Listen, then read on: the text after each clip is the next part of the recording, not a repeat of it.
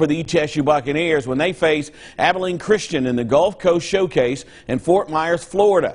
This morning, the Buccaneers loaded onto the bus in front of the Dome on campus before boarding a plane to Fort Myers, where they'll face Abilene Christian, a team coming off a 20 and 11 season a year ago and a second place finish in the Southland Conference at 15 and 5. This is the first meeting against ACU, which comes into this game guard heavy.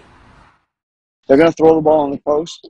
They're going to play a, a lot like um, Kansas, the high low, throw it in the post heavy um, they got um, several you know post players down there. They got a all conference uh, power forward in Joe Pleasant, and they're going to be aggressive defensively. I think they were in the top 15 in steals per game last year, and so we're going to have to do a good job of taking care of the